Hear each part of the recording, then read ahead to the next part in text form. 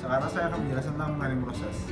Ada lima hal yang mencakup planning proses, yaitu adalah personal needs, company culture, job analysis, job qualifications, dan legality of job qualifications. Selanjutnya saya akan menjelaskan tentang uh, yang pertama adalah personal needs. Kebutuhan suatu individu dengan individu yang lain tentu berbeda-beda. Ada keinginan dan kebutuhan yang berbeda-beda. Yang kedua adalah company, uh, company culture. Suatu kebudayaan yang dimiliki oleh suatu perusahaan yang membuat perbedaan dari perusahaan yang lainnya. Selanjutnya saya akan menjelaskan tentang job analysis.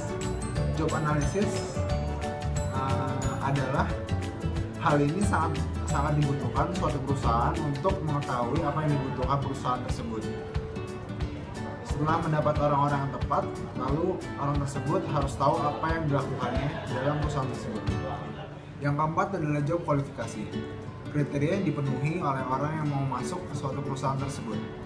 Dan yang terakhir adalah legality of uh, qualification. Undang-undang yang mengatur tentang kriteria suatu pekerjaan dari suatu perusahaan supaya dapat kesetaraan yang seimbang antara satu perusahaan dan perusahaan yang lain.